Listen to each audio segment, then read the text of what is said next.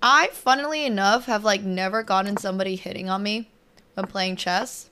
But I think a large reason for that, I found that question very funny, um, is because you couldn't really tell what my gender was when I was a kid. Definitely not while playing chess. Definitely not.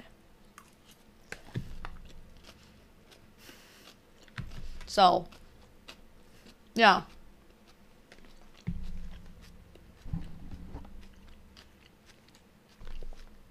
Probably helped a lot to not have weirdos when I just look like your average boy.